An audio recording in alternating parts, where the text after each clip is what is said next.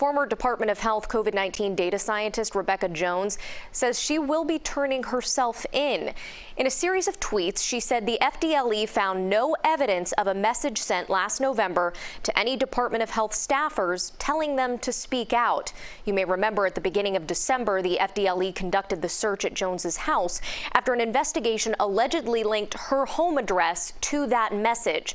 She says she's turning herself in to, quote, protect my family from continued police violence and that the governor will not win his war on science and free speech. He will not silence those who speak out, end quote.